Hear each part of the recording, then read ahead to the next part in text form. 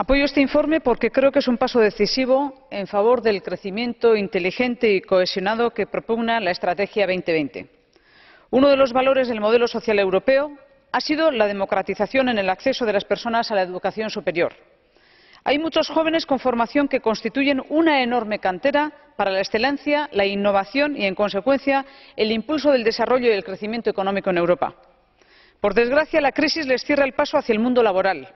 Por eso, garantizar que al menos tengan una oportunidad es una obligación para todos los Estados miembros. Y propiciar que adapten su formación quienes, pese a todo, no encuentran empleo es una buena utilización de los recursos que dediquemos a financiar este Fondo de Garantía Juvenil. Por eso me gustaría que tuviera un presupuesto acorde con sus objetivos y también que su aplicación no sea solo una sugerencia para los Estados miembros, sino que fuera una obligación. Gracias.